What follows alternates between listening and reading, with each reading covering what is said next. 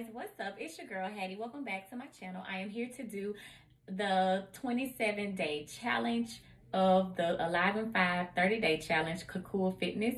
Um so this is the 27th day of the 30 days.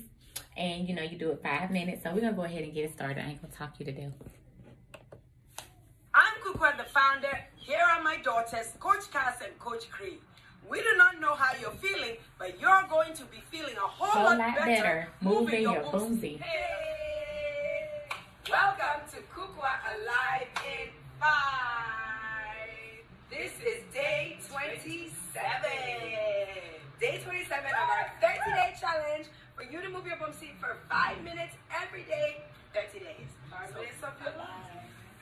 Let's go get your life and bye. Let's do it. Let's... We're going on portion. Here we go.